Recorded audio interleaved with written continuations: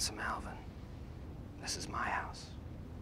And in my house, attitudes like yours get spanked. Sounds like you got the plums. Alvin.